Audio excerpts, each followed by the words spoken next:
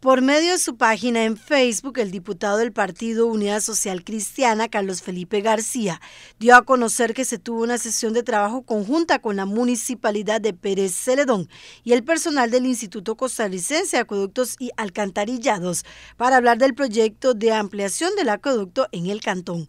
Dijo que se les informó que por fin entrará en funciones el nuevo sistema de abastecimiento del acueducto, tema que ha dado seguimiento continuo por parte del despacho.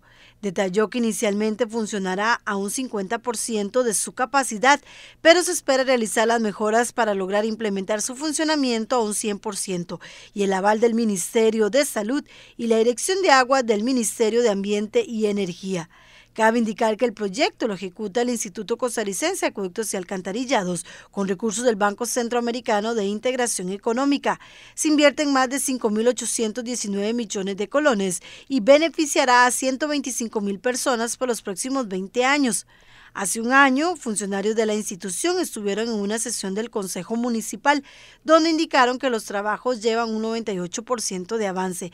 El 2% restante comprende a las obras para el tratamiento de los lodos, debido a que el terreno que inicialmente se tenía para ello fue destruido por el cauce del río, un 2% que aún se mantiene.